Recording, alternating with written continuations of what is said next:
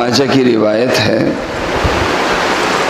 حضرت عائشہ صدیقہ رضی اللہ عنہ روایت کرتی ہیں کہ اللہ کے نبی صلی اللہ علیہ وسلم نے ارشاد فرمایا، اذا كانت لیلت النصف من شعبان فیغفر لكل امت الا لمشرک او لمشاحن اللہ کے نبی صلی اللہ علیہ وسلم نے ارشاد فرمایا، شعبان کی پندرہ، شعبان کی پندرہ کی رات کو یعنی شب برات کو اللہ تعالیٰ پوری امت کی مغفرت کر دیتا ہے۔ اللہ تعالیٰ ہم سب کو اس میں شامل کرے۔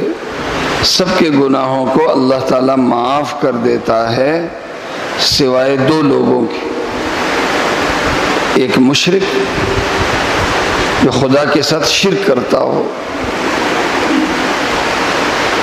اور دوسرے نمبر پہ مشاہن جو اپنے دل میں، جو اپنا دل اللہ کی مخلوق کے لیے صاف نہ رکھتا ہو۔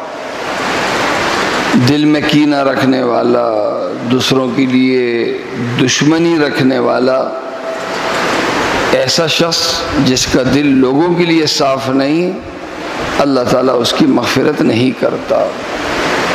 تو دو لوگوں کی مغفرت نہیں ہوتی، جس کے دل میں شرک اور جس کے دل میں دوسروں کے لیے دشمنی۔ عقیدہ خراب؟ عقیدہ خراب یا دوسروں کے لیے ذہن خراب؟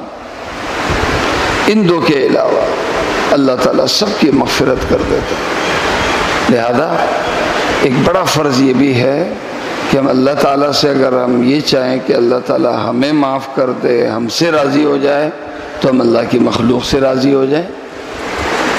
جیسے معاملہ ہمارا اللہ کے بندوں کے ساتھ ہوگا ایسے ہی معاملہ اللہ کا ہمارے ساتھ ہوگا۔ اللہ تعالیٰ مجھے اور آپ سب کو عمل کرنے کی توفیق عطا فرمائے۔